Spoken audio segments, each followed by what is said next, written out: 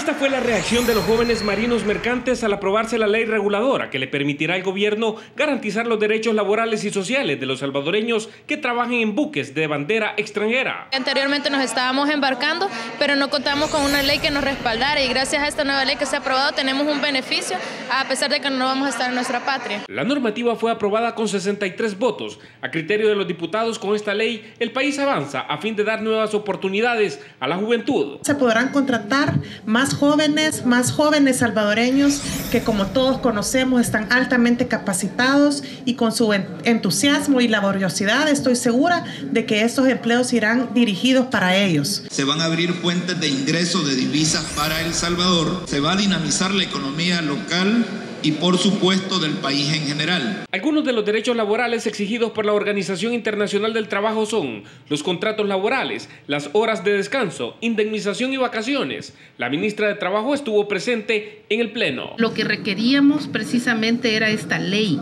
poder regular y poder contar con eh, la posibilidad del Ministerio de Trabajo eh, regular o inspeccionar los derechos laborales de las personas que arriban al tamar. En un comunicado, el presidente Salvador Sánchez Serén agradeció la aprobación de esta ley que impactará positivamente en la economía del país. A la fecha se han formado alrededor de 300 marinos. De estos, 70 ya realizan trabajos en alta mar.